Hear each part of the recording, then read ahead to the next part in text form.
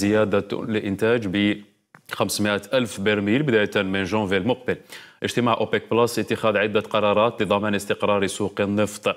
تعافي الاقتصاد العالمي وانتعاش أسعار النفط مرهون بلقاح كورونا. كل هذا وأكثر مع الأستاذ أحمد طرطار الأستاذ الاقتصاد بجامعة آه، تبسة الخبير الطاقوي. أهلا بك سيدي الكريم شكرا لقبولكم المداخلة.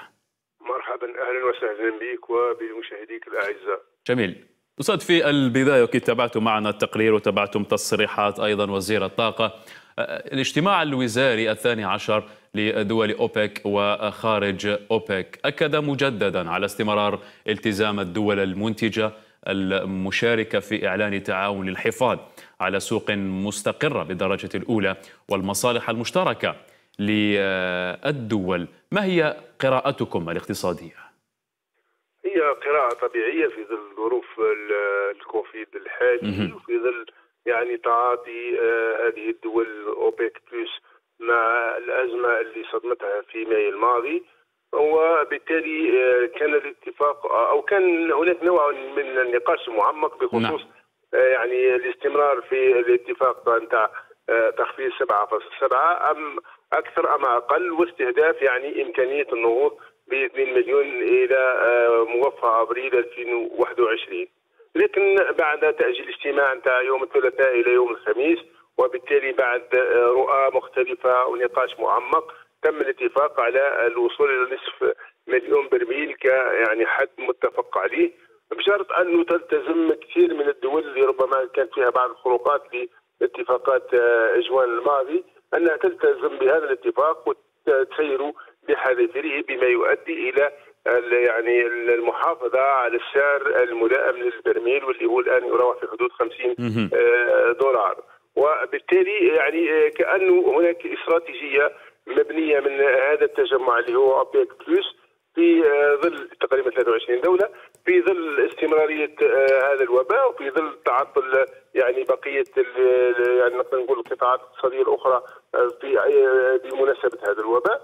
وعليه يتم بالتالي تمرير فكرة آه، نصف مليون برميل كحد آه، آه، يعني أدنى لاستمرارية تخفيض الإنتاج بما يؤدي إلى التحكم الناجح في السوق. هل هناك الآن مخاوف ربما من عدم التزام الدول التي لم تلتزم بقرارات خفض الإنتاج في في في في, في السابق يعني؟ نظن هذا وهذا هو اللي كان نقاش الوفد نعم. الاماراتي باعتبار انه هناك بعض الدول غير آه، متفقة معه لكن أعتقد في ظل يعني الدور الرائد نتاع المملكة العربية السعودية واللي نعم. أكدت على 7.7 أعتقد باللي معظم دول الخليج ستنصاع إلى هذا الأمر بالإضافة إلى بقية الدول الأخرى وبالتالي سيكون هذا يعني استمرار هذا الأمر إلى نعم. آه، موفى جانفي ثم الدخول في آه، يعني الرزنامة المقترحة إلى غاية ابريل القادم ان شاء الله. لأنه حتى نكون واقعيين أيضا أستاذ انه لا يوجد دول صديقة داخل أوبك وأوبك plus، هناك مصالح داخل أوبك وأوبك نعم plus لأنه في حتى في ضغوطات أيضا من دول فاعلة في اقتصاديا في العالم على الدول التي التزمت أو لم تلتزم لأنه هذا أيضا خطر أيضا يهدد اتفاقات أوبك واوبك بلس. أكيد. أنت لما تقرأ مثلا تقرير آخر تقرير لمنظمة الصحة العالمية نعم. واللي تقريبا يبشر باحاله انتشار لحالة فقر جديدة مدقعة بالنسبة للآفاق 2021 2022 معنى ذلك هناك دول متضرره متضرره كثيرا.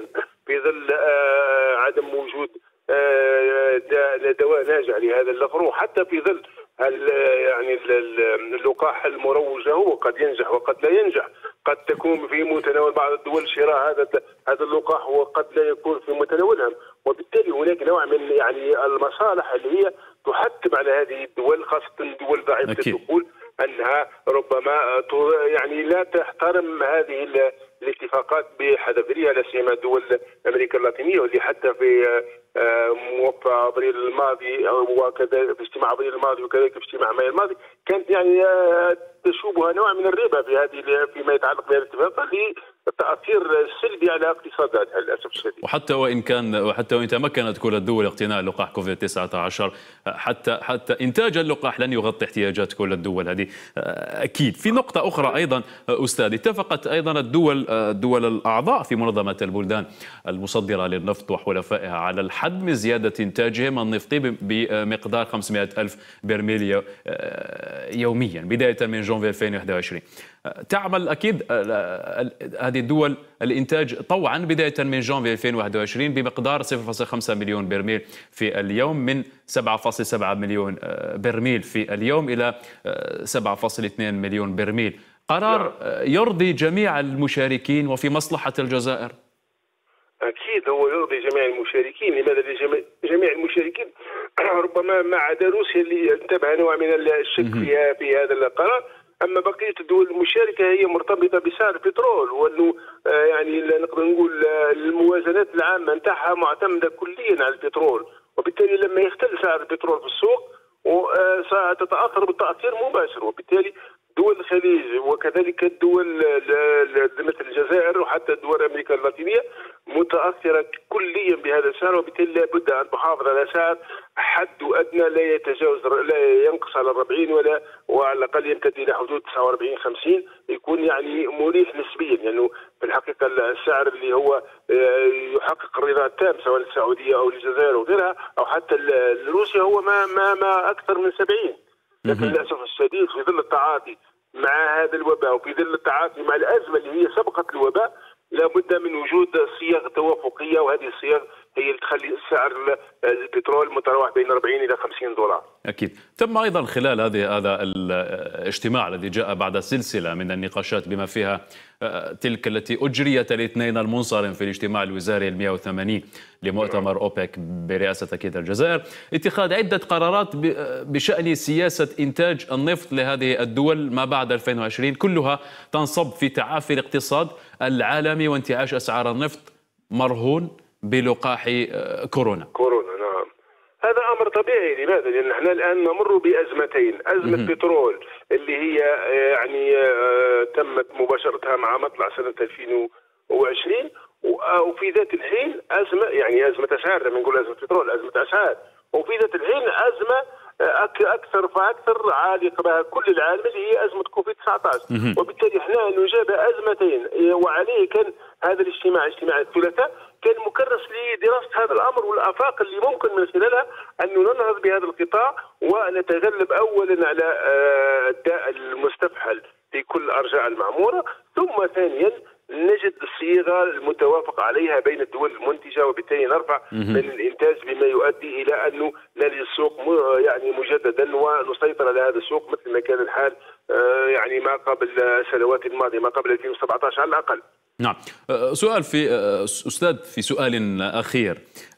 إذا ما تأخر إنتاج لقاح كوفيد 19 وإذا ما تأخر أيضا تسويقه تسويق لقاح كوفيد 19 هل سنبقى على نفس الإجراءات المتفق عليها في أوبك وأوبك وشركائها أم يجب علينا اتخاذ إجراءات أخرى؟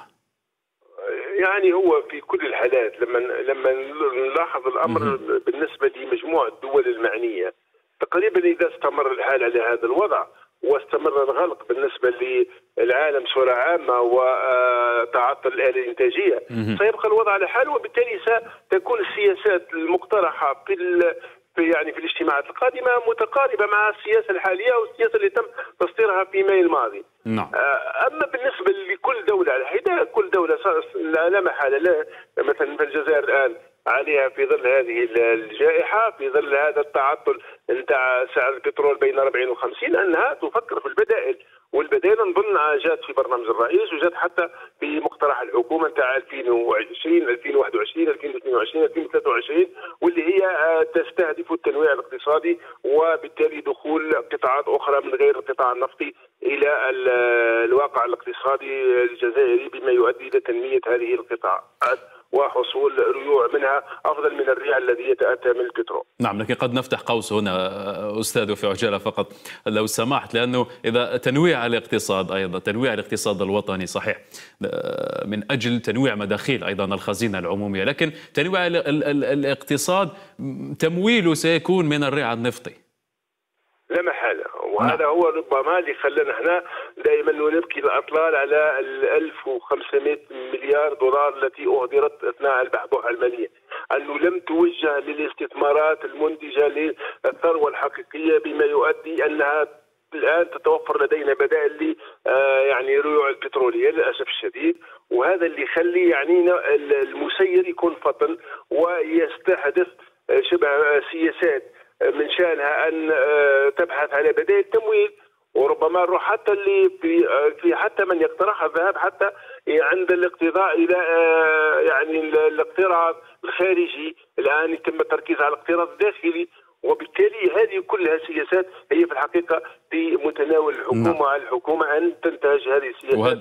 آه، بما يؤدي نعم. إلى تنويع هذه الاستثمارات في المجالات المختلفة نعم وهذا رهان الحكومة أيضا في هذه الفترة ورهان قانون الماليه لسنة 2021 على كل شكرا نعم. جزيلا